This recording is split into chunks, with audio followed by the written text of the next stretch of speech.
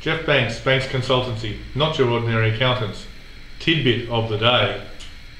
If you are employing staff, there are important areas you need to consider, such as you are legally required to keep accurate and complete time and wages records and issue pay slips to each employee. You need to keep the employee's time and wages records for at least seven years and make sure they are always accessible for inspection. Injury, illness, or death in the workplace can cause severe hardship to your workers, their families, and your business. For this reason, it's important to have adequate protection. By law, all employers are required to cover their staff under a workers' compensation policy, which needs to be in place at all times.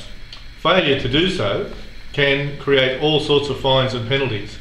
Remember also that workers' comp policies should also cover self-employed sole traders who might very well contract to you. If you've got any questions regarding workers' compensation or any other matter similar to this sort of thing or to do with the salaries and wages of your employees, please do not hesitate to contact us. Jeff Banks, Banks Consultancy, not your ordinary accountants.